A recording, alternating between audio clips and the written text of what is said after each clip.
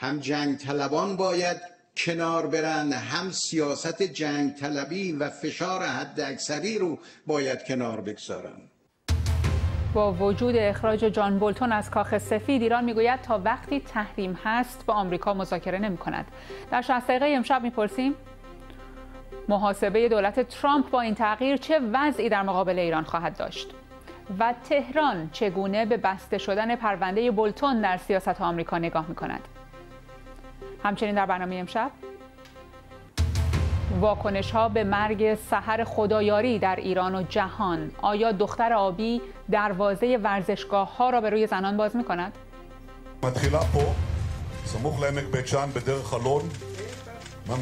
طرح نتانیاهو برای زمینه کردن دائمی بخش عمده ای از سرزمین های فلسطینی به اسرائیل. جهان عرب خشمگین است. سازمان ملل و اتحادیه اروپا می‌گویند خطکشی نتانیاهو غیرقانونی است. و مقررات جدید اقامت دانشجویان خارجی در بریتانیا بعد از پایان تحصیل دو سال برای پیدا کردن کار وقت دارند.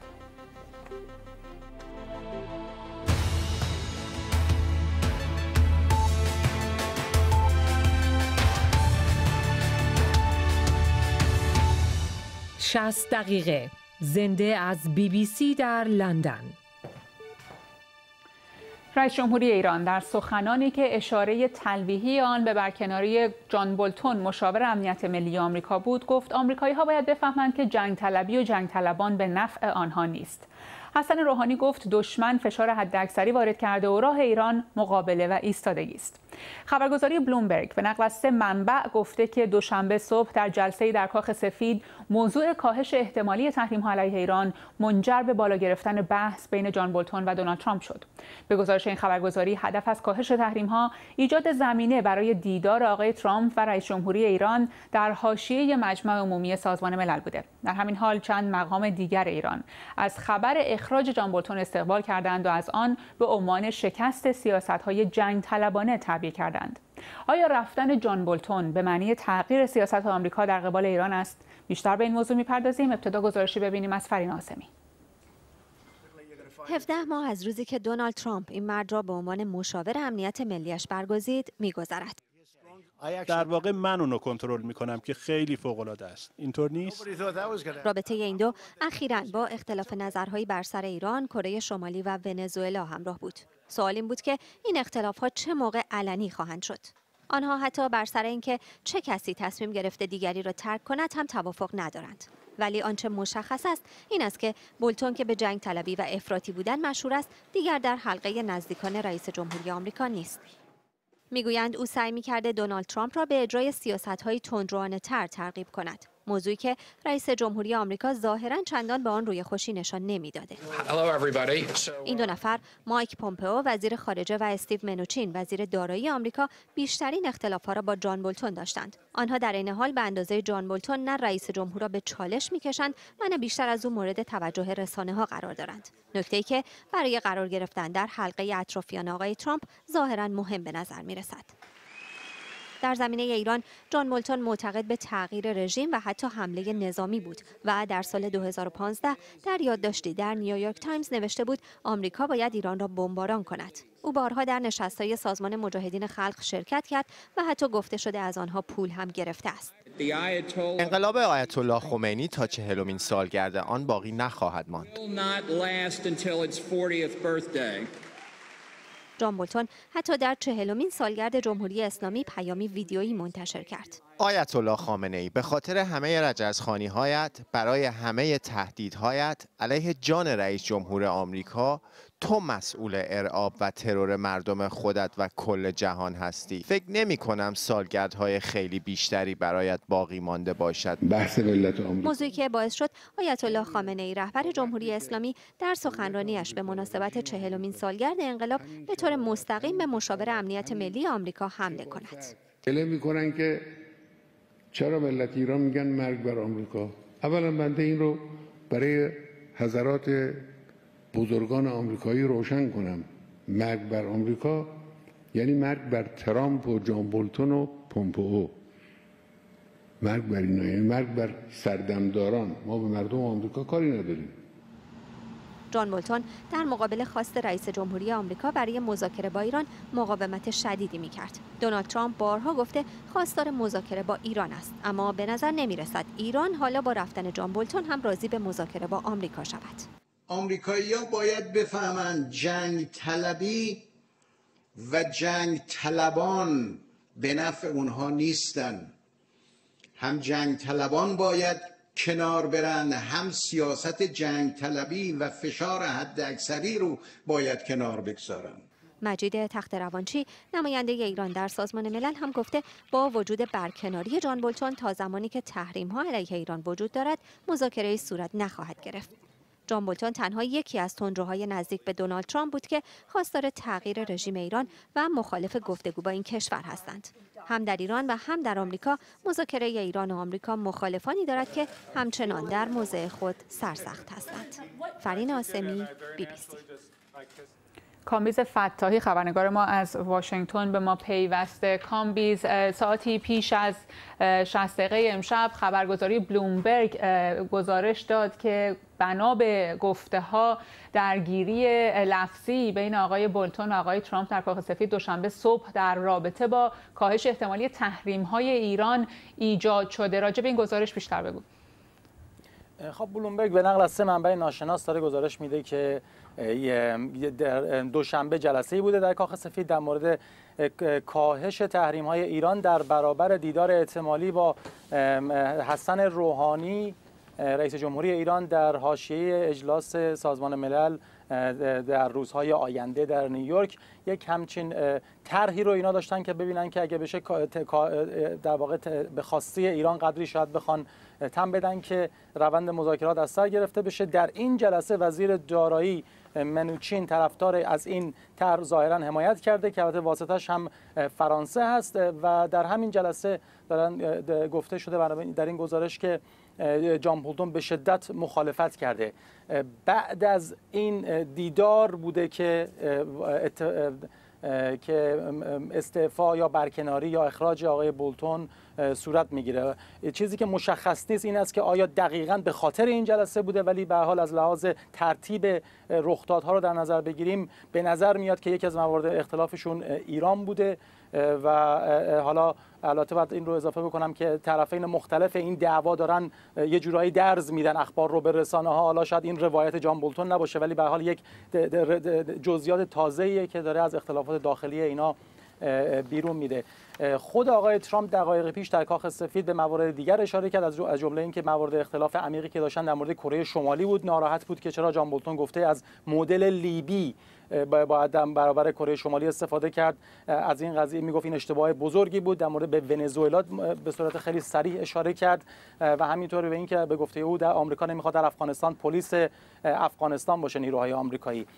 و مورد دیگری رو هم که آقای ترامپ در همین جلسه به خبرنگاران گفت گفت که همچنان آماده برای در واقع مذاکره با ایران آمادگی داره. از او سوال شد که آیا حاضره که تحریم ها رو کاهش بده برای آغاز روند مذاکرات؟ گفت باید ببینیم چه خواهد شد ولی جواب منفی نداد.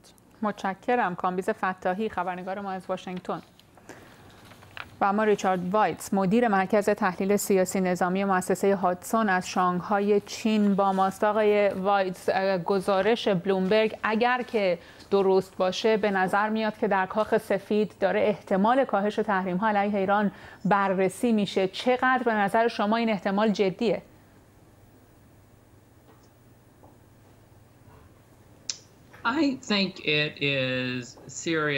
من فکر می‌کنم جدی باشه ولی جدی باشه به این معنی که ایالات متحده داره اشاره می‌کنه که آماده است که تحریم ها رو کم کنه در ازای یک سری گام هایی که ایران برداره. بنابراین هیچ تعهدی به کم کردن تحریم ها نیست. اما پرزیدنت گفته که او آماده است که همه موارد مورد اختلاف رو با هم حل کنه تحریم ها رو برداره ایران رو وارد جامعه بین المللی کنه اما در عوض ایران هم باید گام های اساسی برداره یک چیز جدی رو واگذار کنه مثلا در برنامه هسته و رفتار دیگرش رفتن جان بولتون آیا تأثیری در سیاست آمریکا در قبال ایران خواهد داشت از شما؟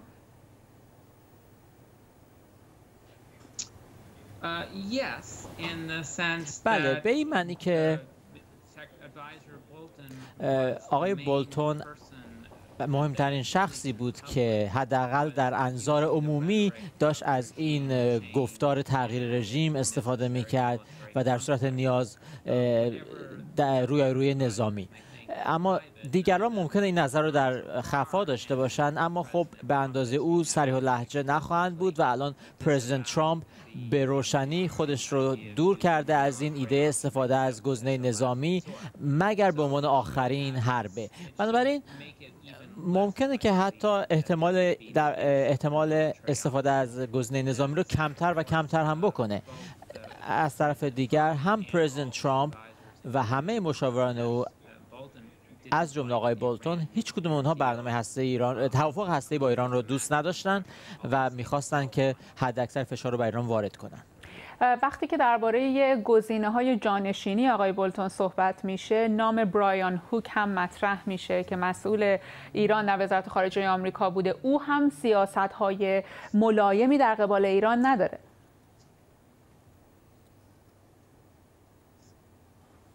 نه. درست میگید. اون نقش خیلی فعالی داشته در فشار آوردن بر کشورهای دیگر تشویق کشورهای دیگر که نفت ایران رو وارد نکنن و تحریم های آمریکا رو اعمال کنن. خیلی تلاش کرده که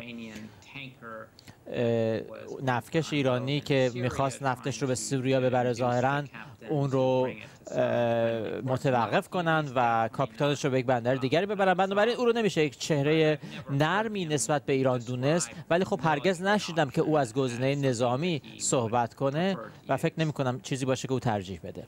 آقای وایت رئیس جمهوری ایران امروز گفت که آمریکا هم باید افراد جنگ طلب رو کنار بگذاره هم سیاست های جنگ طلبانه رو اگر کنار گذاشتن جان بولتون رو بشه به نوعی مورد اول دید آیا فکر می‌کنید که احتمال داره که آمریکا سیاست های جنگ طلبانش رو که از دید ایران شامل تحریم های اقتصادی هم میشه قطع بکنه در قبال این کشور؟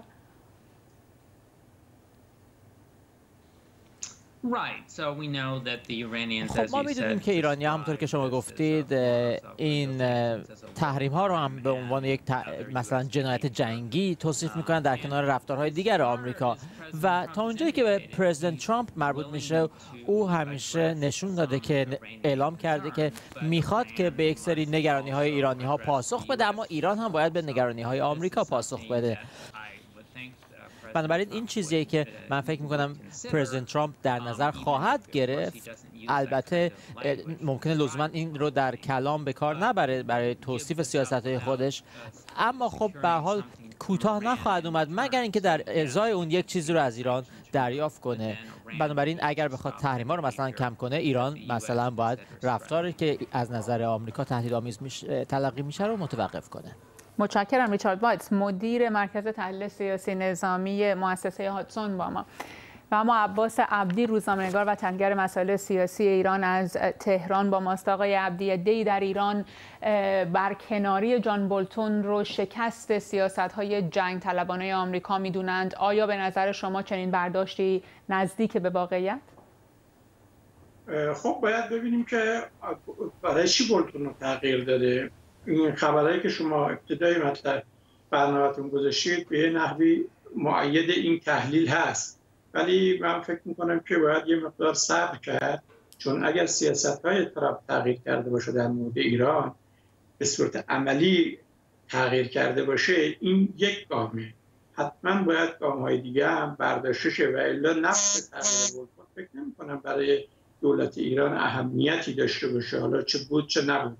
مهم اینه که تغییر سیاست پیدا بکنه و این تغییر سیاست اولین گامش و اتفاقا یک گام نماد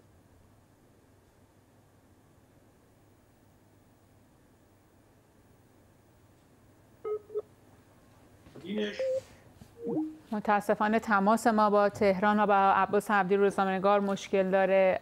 امیدوارم که بتونیم دوباره تماسمون رو با آقای عبدی برقرار بکنیم. اما چند خبر کوتاه. دولت استرالیا تایید کرده که سه نفر از اتباع این کشور در ایران بازداشت شدند. رسانه های استرالیا و بریتانیا می‌گویند دو نفر از این افراد یک مرد استرالیایی و دوست دختر استرالیایی بریتانیاییش هستند. که در ماه‌های اخیر بازداشت شدند. نفر سوم هم یک زن استرالیایی بریتانیایی است که گفته شده نزدیک به یک سال در بازداشت به سر برد. بنابر گزارش ها پرونده او با دو نفر دیگر ارتباطی ندارد. وزارت خارجه استرالیا گفته به اتباع زندانیش در ایران کمک کنسولی ارائه دهد. مقام های ایرانی می‌گویند دست کم یکی از کشته های حادثه دیروز در کربلا ایرانی بوده. در جریان عزاداری روز آشورا در کربلا صدها نفر زیر دست و پا افتادند. به گزارش منابع خبری عراق در این حادثه دست کم 33 نفر کشته و بیش از 120 نفر مصدوم شدند. به گفته مدیر کل عتبات سازمان حج ایران، هفت نفر از زخمی ها هم ایرانی هستند. وزیر آموزش و پرورش ایران می‌گوید اگر دانش آموزان اظهار کنند که پیرو ادیان دیگری بجز ادیان رسمی کشور هستند و اقدامشان به نوعی تبلیغ محسوب شود تحصیل آنها در مدارس ممنوع است به نظر می رسد این گفته محسن حاجی میرزایی در واکنش به خبرهای اخیر درباره جلوگیری از تحصیل یک دانش آموز بهایی در سمنان باشد. در جمهوری اسلامی ایران تنها زرتشتیان کلیمیان و مسیحیان اقلیت های دینی رسمی شناخته می شوند اما طبق قانون اساسی دولت موظف است وظایف وسایل آموزش و پرورش رایگان را برای همه مردم فراهم کند. دادگاه عالی اسکاتلند رأی داده که اقدام بوریس جانسون نخست وزیر بریتانیا در تعلیق پنج هفته‌ای پارلمان در آستانه خروج این کشور از اتحادیه اروپا غیرقانونی است. هر سه قاضی این دادگاه گفتند هدف آقای جانسون از این اقدام مانع تراشی در مسیر پارلمان بوده. این رأی به معنای آن است که بوریس جانسون با پیشنهاد تعلیق پارلمان به ملکه عملا او را گمراه کرده. دولت بریتانیا گفته از این رأی معیوس شده و به دادگاه عالی در لندن درخواست تجدید نظر خواهد داد. و اما به نظر میاد که تماس ما با عباس عبدی روزنامه‌نگار و تگر مسائل سیاسی از ایران دوباره برقرار شده. آقای عبدی متاسفانه پاسختون رو کامل نشنیدیم. داشتیم راجع به این صحبت می‌کردیم که آیا رفتن آقای بولتون به معنای تغییر سیاست آمریکاست؟ بله. همونطور که عرض کردم اگه این تغییر صورت گرفته باشه تو سیاست خارجی آمریکا این یه نماد خوبی هستش. ولی باید روزهای آینده منتظر بود. به عنوان نمونه باید دید که ترامپ چه پاسخی به طرح مکرون میده. آیا اون رو اجرایی می‌کنه یا نه؟ اما بسیاری معتقدند که سیاست های سخت گیرانه دونالد ترامپ به پیش از جان بولتون برمیگرده و دیگر اطرافیان او مثل مایک پومپو هم خیلی آدم های ملایمی در قبال ایران نیستند. بله درسته. ولی به حال برداشت خود من همیشه این بوده که حالا ترامپ سختگیری رو می‌کنه ولی خیلی علاقه به درگیر شدن نداره. این کاملا جهت مخالف با بولتون بود و اتفاقا سیاست های ترامپ بعد از سفر به ژاپن با وجود بولتون متناقض بود.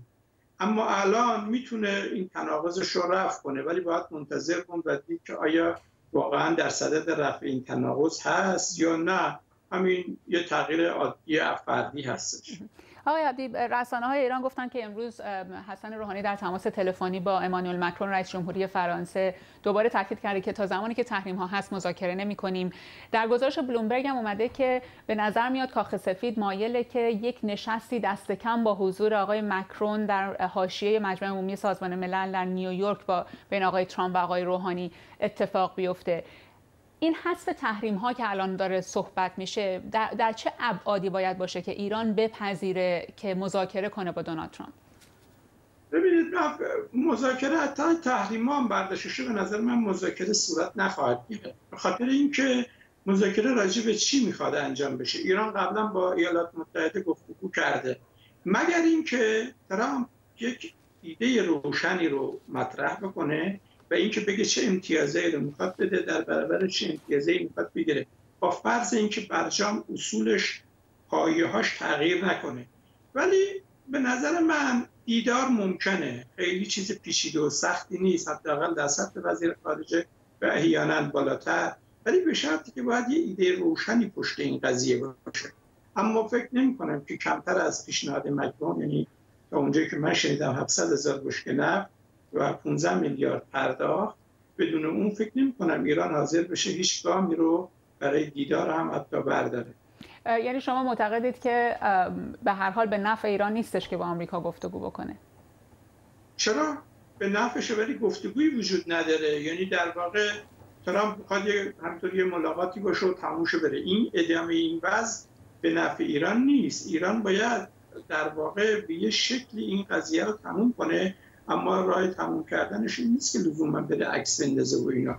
راه تموم کردنش ادامه دادن تعهداتش نسبت به برجامه مگر اینکه اونا توافق بکنن و پیشنهادایی رو ارائه کنن اینجا منجمد بشه سیاست های طرفه. و تو چارچوب برجام تو تاریخ های برجام می‌تونن یه نوع مثلا تعدیلایی رو به وجود بیارن با یه تضمینایی که به ایران میدن و امتیازایی که به ایران میدن. آقای عبدی ادامه وضع موجود ای... وضع موجود آیا به نفع ایران و مردم ایران هست؟ نه.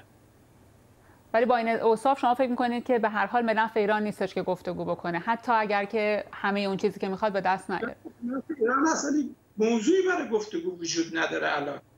شما به عنوان یه روزنامه نگار چه اطلاعی از گفت پیشنهاد گفتگو دارید؟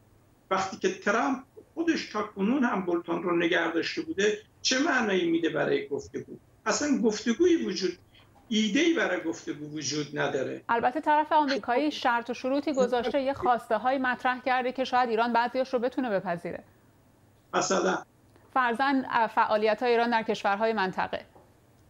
برای چی ایران نباید فعالیت کنه؟ این خواسته آمریکایی هاست فعالیت نمی‌کنه که ایران نخواد فعالیت کنه. ایران اگه فعالیت نمی‌کرد که داعش کل منطقه رو دچار بحران می‌کرد. چی گفته که نباید فعالیت کنه اما یک چیز رو می‌تونیم بگیم که این فعالیت باید متوازن باشه منافع همه کشورها رو تامین کنه. نه اینکه ایران بره کنار. برای چی باید این کارو بکنه؟ مگه آمریکا میاد امنیتش رو تامین کنه اگه بره کنار؟ بله متشکرم. عباس عبدی روزنامه‌نگار و تحلیلگر مسائل سیاسی ایران از تهران با ما. خودسوزی و مرگ سحر خدایاری معروف به دختر آبی بار دیگر بحث خواسته های زنان ایرانی را مطرح کرده. از درخواست برای ورود به ورزشگاه ها گرفته تا حق انتخاب نوع حجاب. خواسته هایی که بعضی از آنها عمری به درازای عمر جمهوری اسلامی ایران دارند. اما مسئولان تا چه حد آماده گوش دادن به حرفهای زنان و برآورده کردن خواسته هایشان هستند؟ و اصولا چرا حکومت ایران در بیشتر حوزه های مربوط به زنان در جامعه با نوعی بحران روبروست؟ در این باره بیشتر گفتگو می‌کنیم. اول گزارشی ببینیم از فیروزه یکبریان. سخنان حسن روحانی در نشست امروز هیئت دولت. زنان جامعه ما اگر احساس می‌کنن برخی از حقوق اونها مراعات نمیشه؟ رئیس جمهوری ایران به حرفهای کلی درباره حقوق زنان بسنده کرد. نمیشه؟ راه اصلیش انتخاباته. تو انتخابات بیایید نظرتون رو اعلام کنید. تو انتخابات بیایید افرادی رو انتخاب بکنید که حقوق شما سریعتر و زودتر به دست شما برسه.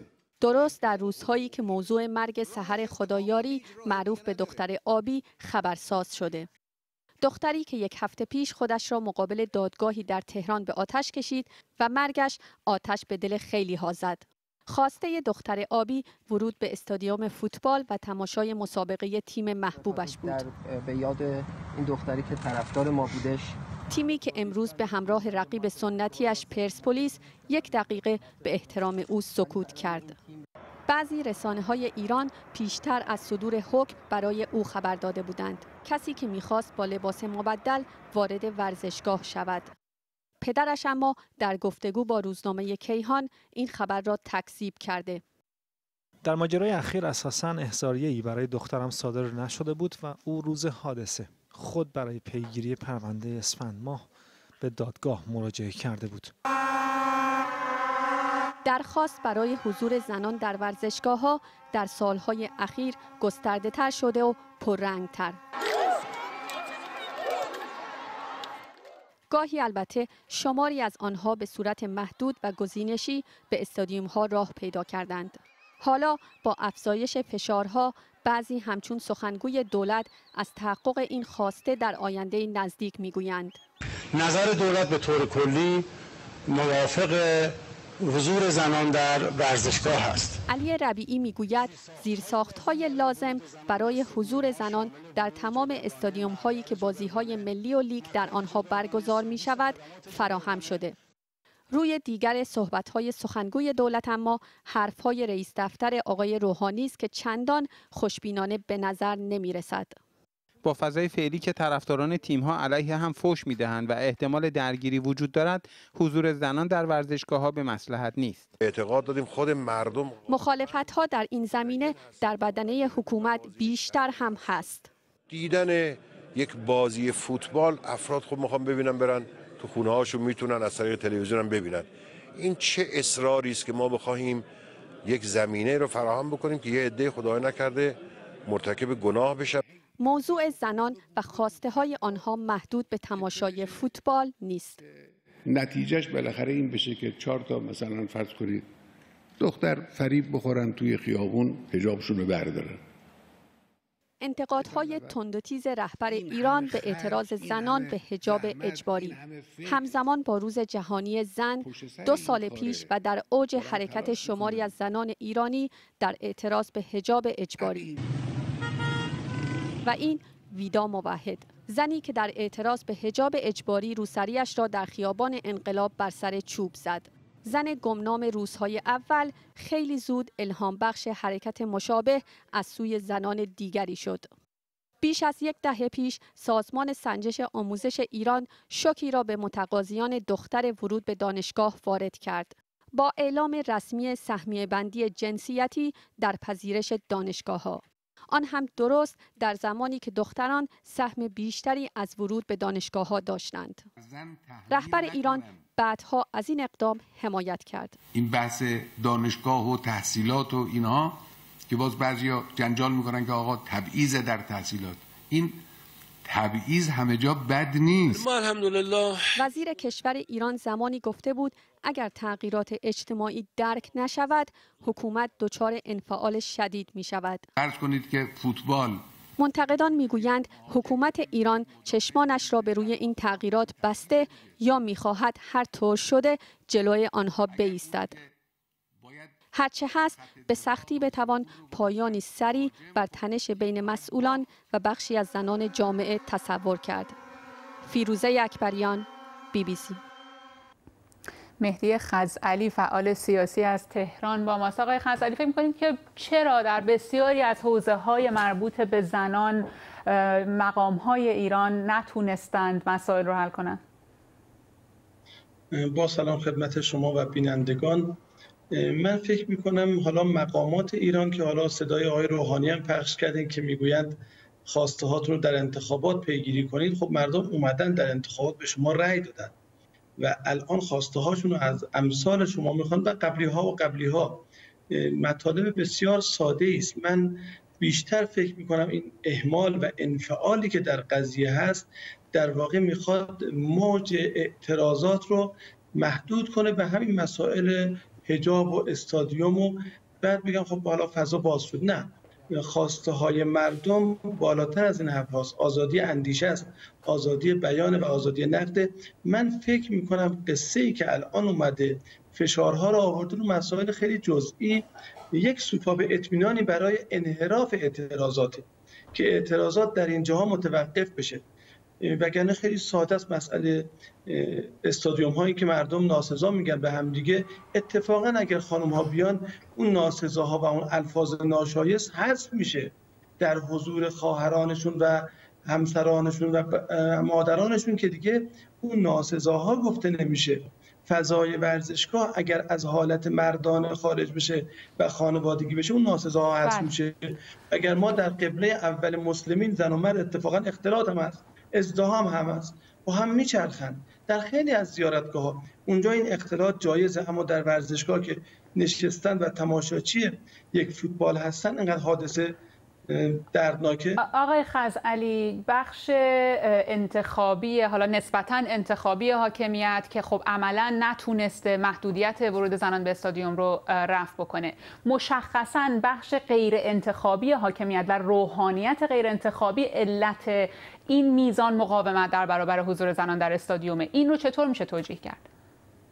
من می‌خوام بگم همین قصه است. یعنی اصرار اونها بر این مسائل جزئی اینه که این مبارزه و تلاشی که می‌خواد برای آزادی انجام بگیره محدود بشه به این چیزهای کوچیک.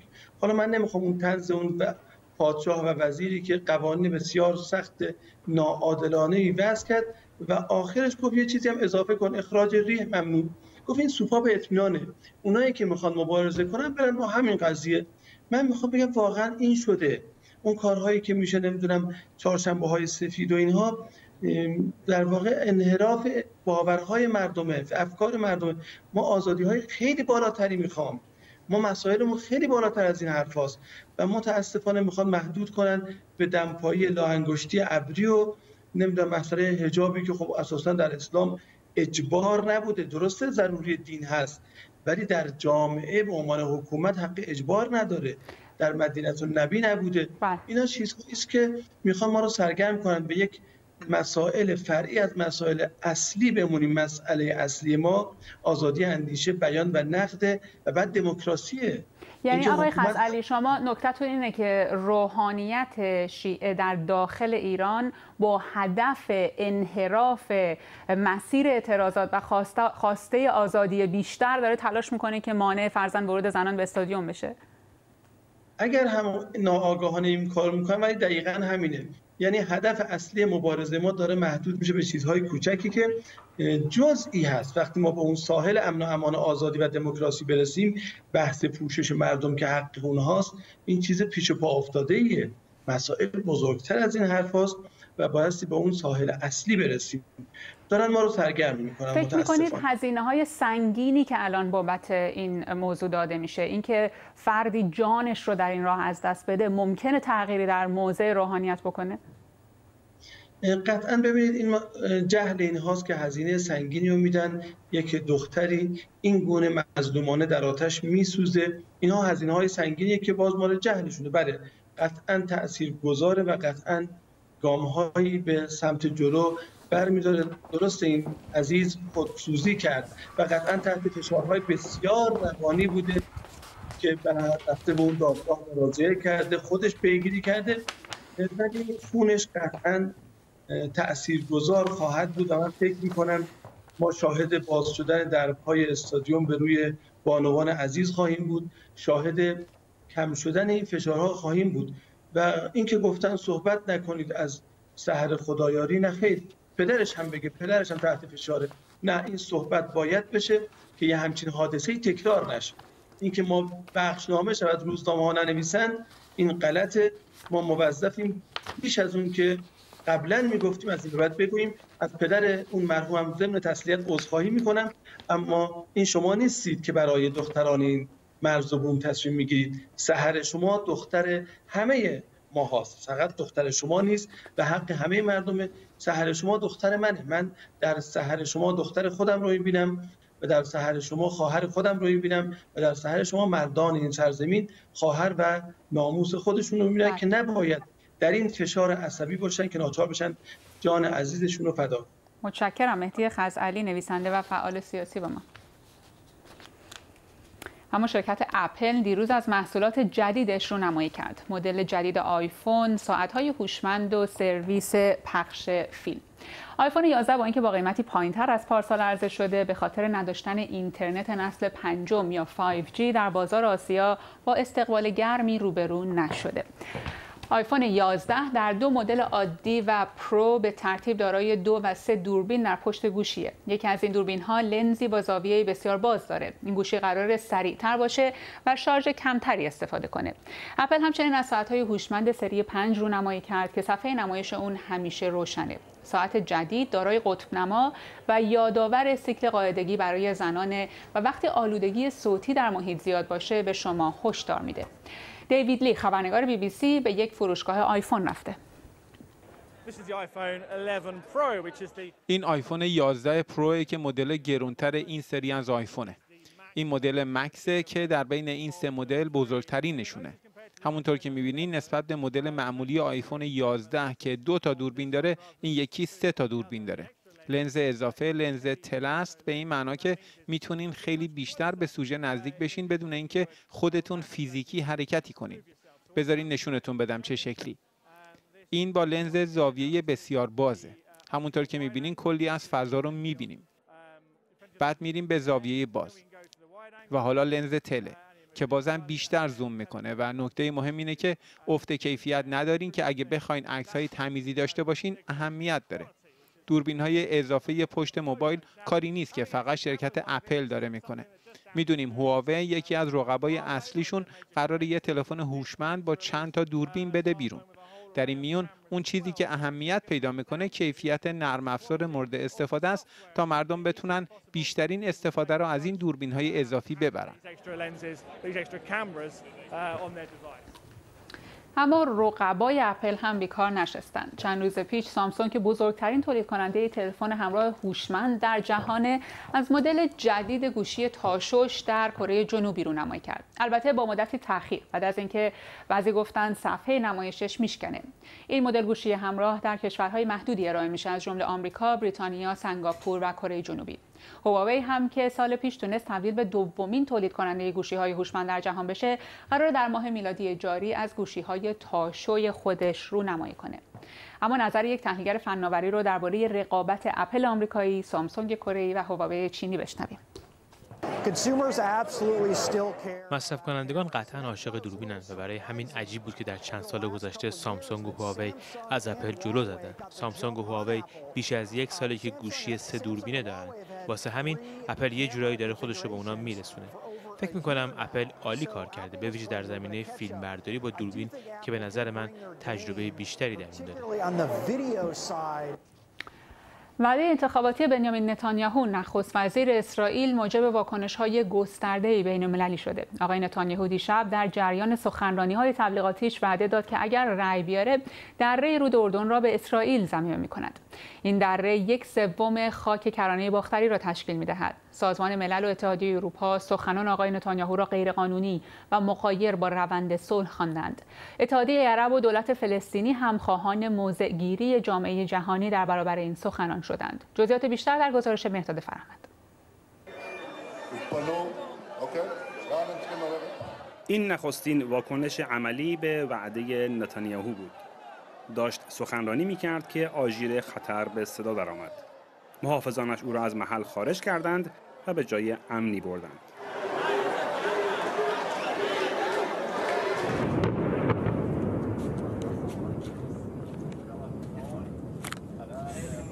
آژیر خطر را راکت هایی به صدا درآوردند که از غزه به سوی اسرائیل شلیک شدند. ارتش اسرائیل اعلام کرد که همه راکت ها را رهگیری کرده و در پاسخ مواضع حماس را در غزه بمباران کرده.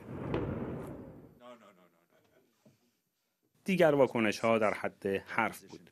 سازمان ملل گفت موضعش همان است که همیشه بوده. هر تصمیم اسرائیل برای اعمال حاکمیت بر سرزمین های اشغالی هیچ اثر حقوقی نداره و زمینه ای را نابود می‌کنه که برای احیای روند صلح وجود داره. با ماهیت راه حل تشکیل دو دولت اسرائیل و فلسطین در کنار یکدیگر هم در تضاده. مسئولان فلسطینی هم جز کمک خواهی از جهانیان کاری ازشان ساخته نیست.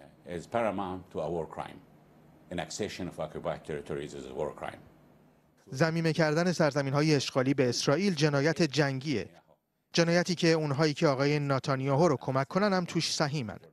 حالا که در آستانه مجمع عمومی سازمان مللی نهادهای بین المللی باید یک صدا نه بزرگی بگن و با اسرائیل به عنوان کشوری فراتر از دسترسی بشر رفتار نکنن. منظور صاحب علیقات از کسانی که به نتانیاهو کمک کنند کنایه به دونالد ترامپ بود. کسی که نتانیاهو او را برگه برنده خود در تبلیغات انتخاباتی کرده. آقای ترامپ گفته که درست پس از انتخابات طرح صلحش رو عرضه می‌کنه. این فرصتی تاریخیه فرصتی که فقط یک بار دست میده تا حاکمیت اسرائیل رو در سرزمینی که به ما به ارث رسیده برقرار کنیم. سوال اینه که چه کسی با آقای ترامپ مذاکره کنه؟ کی نخست وزیر بشه؟ من یا اونایی که می‌خوان 80 هزار شهرنشین رو آواره کنن. من باور دارم که با تجربه سیاسیم و با روابط شخصیم با آقای ترامپ می‌تونم بقا و امنیت ما رو در سرزمینمون تضمین کنن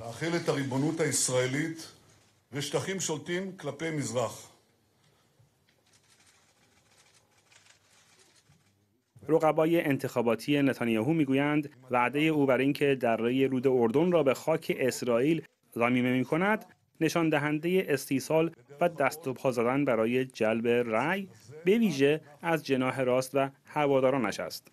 انتخابات سهشنبه آینده نشان خواهد داد وعده نتانیاهو چقدر موثر بوده. مرتاد فرهمند بی بی سی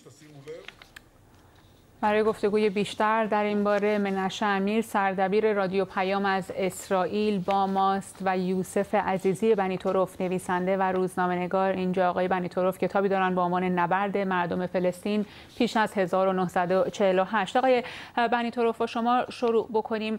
فکر می‌کنید که اونطوری که رقبای آقای نتانیاهو میگند این یک وعده انتخاباتیه و دروغه یا اینکه واقعا اجراش خواهد کرد؟ من فکر می‌کنم که این دروغ نیست. چون جناح راست افراطی حزب لیکود حزبی که آقای نتانیاهو عضوش است از زمان شارون در پی زمین کردن دره اردن بود. چون به حال این دره یا دشت در واقع خیلی حاصل خیزه سبد غذایی دو می‌تونه سبد غذایی دولت آینده فلسطین باشه. منابع آبی چشمه های آبی فراوانی داره که هم اکنون البته اسرائیل اینها را برگردونده به طرف شهرک های ساخته شده در کرانه غربی و مسائلی از این دست. آیه نتانیاهو هم ظاهرا برای گریز از زندانی شدن به علت پرونده فسادی که برای ایشون و خانمش هست قصد داره که به هر شکلی شده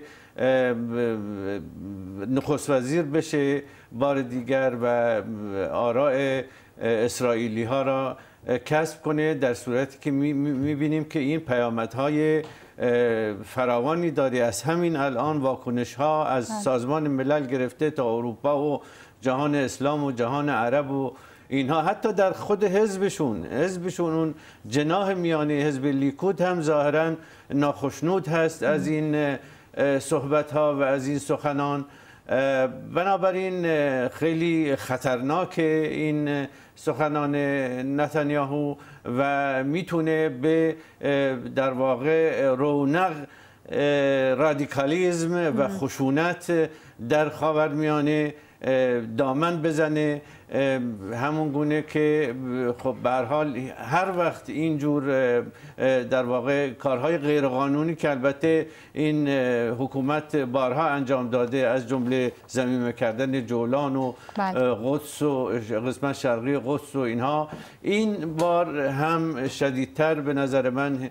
و جالب اینه که آقای نتانیاهو در جایی که صحبت می‌کرده اشتود اونجا امنیت نداشته. صحیح. چند تا موشک اونجا بله داشتیم در گزارش چیز شلیک شده. بنابراین یک ماجراجویی محضه. حالا بعضی حتی اون را جنون آمیز هم توصیف کردن. صحیح. آقای امیر شنیدید صحبت های آقای بنیتوروف رو؟ بسیاری دیگه هم همین عقیده رو دارن. از جمله مقام های اتحادیه اروپا سازمان ملل هشدار دادن راجع به عواقب فاجعه بار این اقدام نتانیاهو. چرا آقای نتانیاهو دست به چنین اقدامی می‌خواد بزنه؟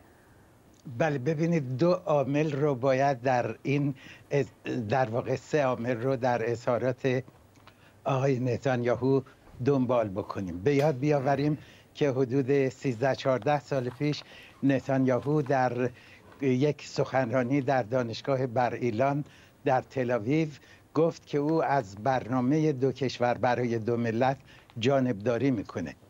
از اون به بعد هیچ اقدام عملی برای رسیدن به این هدف انجام نداد و هر اندازه که جناح راست در اسرائیل تقویت شد دولت نتانیاهو هم گرایش های بیشتری به در پیش گرفتن سیاست های آشتی ناپذیر تمایل پیدا کرد و در حدی که که الان میآید و می‌گوید که بقای اردن یا دره اردن رو می‌خواهد رسما به خاک اسرائیل زمینه بکنه. کاری که با مخالفت شدید همه احزاب داخل اسرائیل روبرو شد و او رو یک ترفند انتخاباتی نامیدن. جنبه های قانونی هم داره که اگر فرصت باشه به اونها اشاره می‌کنیم. بله. تحول دوم که عامل تشویق نتانیاهو در اعلام این سیاست بود پرزیدنت ترامپ هست.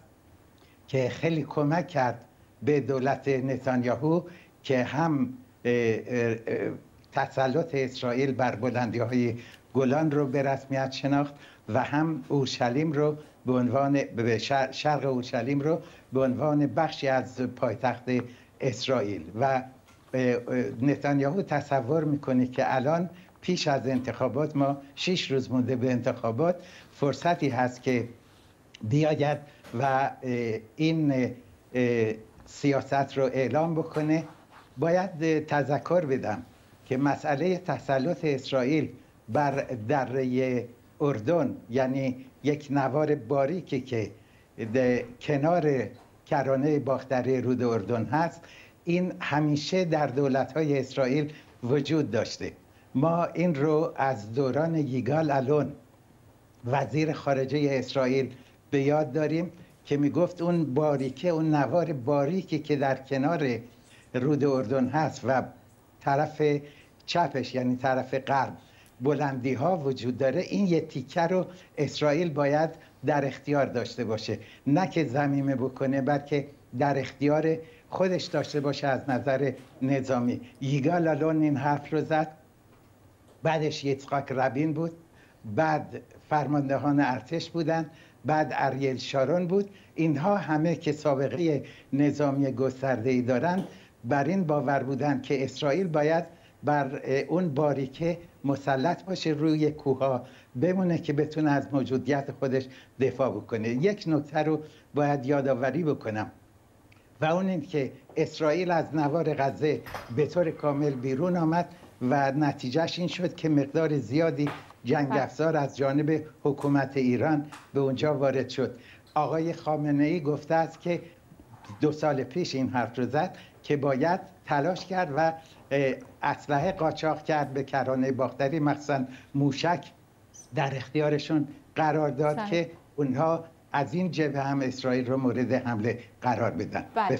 آقای بنی توروف فرض کنیم که فردای انتخابات آقای نتانیاهو رأی آورده و دوباره نخست وزیر اسرائیل شد و این بار موفق بشه که دولت تشکیل بده. با توجه به سکانداری دونالد ترامپ در کاخ سفید آیا آقای نتانیاهو موفق خواهد شد که این وعده انتخاباتی رو عملی بکنه؟ بعید نمی‌دونم بله. بله ممکنه این کار انجام بشه و فکر می‌کنید جهان عرب هیچ واکنشی نشون نخواهد داد فقط محکوم خواهد کرد یا اینکه گمان اکنون که از محکومیت شروع شده بله. یعنی حتی کشورهایی را که ایشون سعی کرد نتانیاهو باشون ارتباط برقرار کنه کشورهای خلیجی دیگر کشورهایی که باش رابطه سیاسی دارند همه اینها واکنش نشون دادن برای اولین بار عربستان سعودی خواستار تشکیل در واقع کنفرانس همکاری های اسلامی شده و مسائلی از این دست ترکیه این کار را این کار را یک کار نجات پرستانه بله. توصیف کرده و همه در واقع و اروپا از همه مهمتر. من فکر می‌کنم که ما ممکنه به مسائلی از قبیل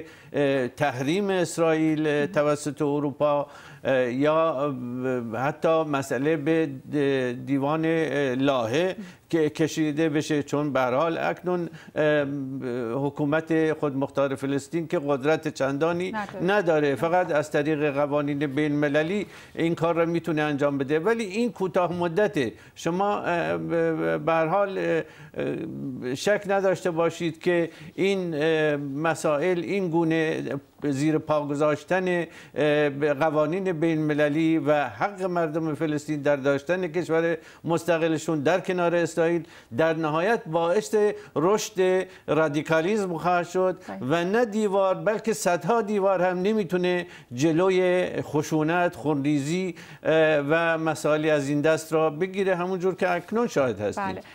آقای امیر اشاره کردن آقای بنیتوروف به واکنش ها و محکومیت هایی که شنیدیم از جانب جهان عرب.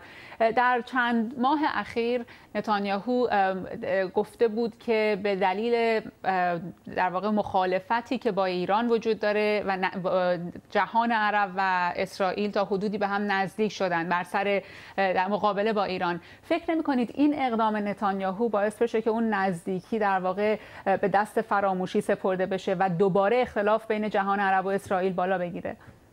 بله، من می‌خوام بگم که سه چهار عامل وجود داره که از اجرای این وعده انتخاباتی نتانیاهو جلوگیری خواهد کرد.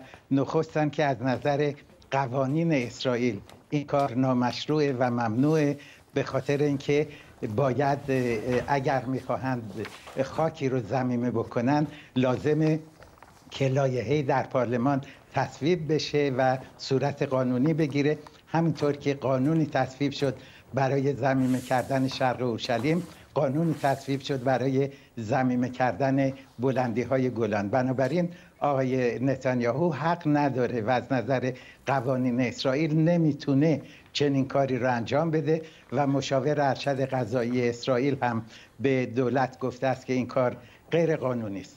نکته دوم مخالفت های شدیدی است که در بین احزاب اسرائیل و به ویژه احزاب عرب وجود داره که این جریان رو ممکنه خونسا بکنه.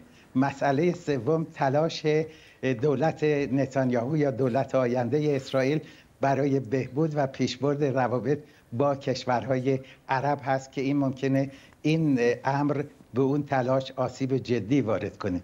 مسئله چهارم این است که پرزیدنت ترامپ برای پذیرفتن یک چنین اقدامی از جانب نتانیاهو با مشکلات بسیاری در داخل ایالات متحده و در نزاع بین جمهوری خواهان و دموکرات ها و در پیکار انتخاباتی پرزیدنت ترامپ بله. روبرو خواهد شد بنابراین به طور کلی احتمال این وعده انتخاباتی نتانیاهو برای زمینه کردن دره اردن عملی نخواهد متشکرم. منشه امیر سردبیر رادیو پیام از اسرائیل و یوسف عزیزی بنی نویسنده و روزنامه نگار با ما. بر اساس مقررات جدید در بریتانیا دانشجویان خارجی می توانند برای پیدا کردن کار تا دو سال بعد از پایان تحصیل در این کشور بمانند و کار کنند. این مدت در حال حاضر چهار ماه است. وزیر آموزش بریتانیا گفته دانشجویان خارجی به غنای فرهنگی و اقتصادی این کشور می افزایند. هر سال حدود 450 هزار دانشجوی خارجی در بریتانیا تحصیل می کنند که نزدیک به یک چهارم آنها چینی هستند. مدیریت و بازرگانی محبوب ترین رشته های تحصیلی برای دانشجویان خارجی در بریتانیا هستند. پگاه بنی هاشم پژوهشگر و مشاور حقوقی اینجا با ماست. خانم بنی هاشم خوش آمدید به برنامه. تا چند سال پیش همینطور بود. بعد از اینکه تحصیل دانشجویان خارجی تمام شد به مدت دو سال فرصت داشتن که کار پیدا کنن و بمونن تغییر کردن. آیا داریم برمیگردیم به همون قانون قبلی در واقع؟ بله حرفتون دقیقا صحیح هستش. اینا از میراث خانم ترزامی هست که از وقتی ایشون وزیر کشور شدن قوانین بسیاری رو در مورد قوانین مهاجرت تغییر دادن. یکی از همون قوانین این بود که از سال 2012 به اصطلاح فرصت اون دو سال کار پیدا کردن برای دانشجویان تبدیل شد به حدود چهار ماه. و عده خیلی کمی موفق می شدن در این صورت در مدت چهار ماه به اصطلاح فرصت داشته باشن که شغلی رو پیدا کنن. اما آمارها به ما خیلی آمار عجیبی رو میگن. از همون 450 هزار نفری که شما اشاره کردین به طور مثال در سال 2018 فقط 6300 نفر موفق شدن که در طول اون مدت چهار ماه شغل پیدا کنن. اونهایی هم که پیدا کردن به صورت متوسط معمولا حقوقی حقوق با دستمزد خیلی پایین تونستن پیدا بکنن. آیا قانونی یا محدودیتی راجع به اینکه چه شغلی پیدا می‌کنن وجود داره یا اینکه هر کاری پیدا بکنن می‌تونن به واسطش بمونن؟ هیچ محدودیتی نداره. قانون جدید که داره میاد در واقع نه تعداد مشخصی داره که مثلا یه سقف معینی رو بذارن که یه تعداد خاصی فقط شغل آماده از اونا می‌تونن بگیرنش. نه اینکه محدودیت شغلی نداره. یعنی حتی اگر خیلی هم مرتبط با درس شما نباشه ایرادی نداره. شما می‌تونید از اون موضوع استفاده بکنید. این هم شامل لیسانس میشه هم فوق لیسانس یعنی شامل تمام مقاطع تحصیلی میشه. تمام مقاطع تحصیلی بالای 18 سال که حق کار کردن دارن شامل همه به اصطلاح دانشجویان میشه. و شما زمانی که کار پیدا کردین و اینکه به هر شاید بعضی از بیننده های ما اینجا درس خونده باشن و به دنبال کار وقتی که کار پیدا کردین بلا فاصله کارفرما می‌تونه برای شما اقامت بگیره یا اجازه کار بگیره؟ چه اتفاقی میفته وقتی کار پیدا سوال خیلی خوبی رو اشاره کردین. نکته خیلی مهمی رو که من دلم می‌خواد به اصطلاح بینندگان شما در جریان باشن این هستش که این قانون خیلی قانون خوبی هست و خیلی فرصت هم میده فرصت بیشتری به دانشجویان میده ولی در این حال قانون اغواگری هم هست. یعنی یه مقداری دانشجوها رو از خارج از کشور ترغیب می‌کنه که بیان ولی در حقیقت ممکنه اون چیزی که تصور دارن اتفاق نیفته. به چه دلیل؟ به خاطر اینکه شما اگر بخواین بعد از دو سال با اینجا با ویزای کار بمونین فقط یک سری کمپانی های خیلی محدودی اول از همه اون license رو دارن که بتونن شما اسپانسر شما بشن. در ثانی بعد از این دو سال شما اقامت دائم نمی‌گیرید.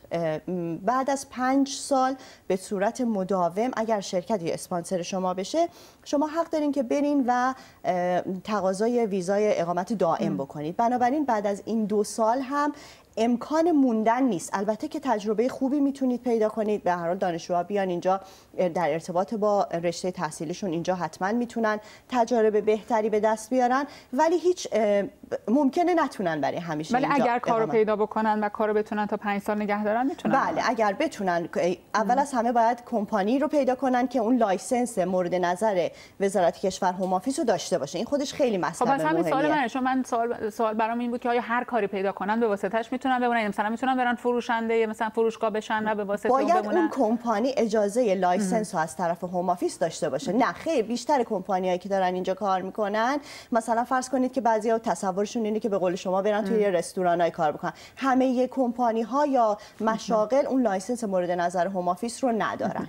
و خب سوال اصلی اینه که هزینه بالای تحصیل در بریتانیا است که شاید دست کم بسیاری از ایرانیا توان پرداختش رو نداشته دقیقا همینطوری که میفرمایید. ببینید در کنار مسئله توریست تجارت توریست مسئله مسئله بریتانیا این هستش که بودجه ای که کشور بهش احتیاج داره رو از طریق دانشجوها به دست میاره. یعنی منظورم که بخشی از بودجه بریتانیا از مسائل دانشجویی یعنی تامین میشه. دقیقاً. و, در اعتقاد من این هستش که این قانون دقیقاً دنباله این هست که دانشجوها رو ترغیب می‌کنه. بیان اینجا و فرصت دو سال رو هم بهشون میده. ولی در عمل از اون تد... همونجور که اول صحبت هم, هم گفتم یه درصد خیلی کمی قادر خواهند بود که شغل مورد نظرشون رو پیدا کنن. متشکرم. پگاه بنی هاشمی پژوهشگر و مشاور حقوقی در استودیو با ما. ممنون. از شما که با این 60 دقیقه همراه بودید. فعلا شب بخیر.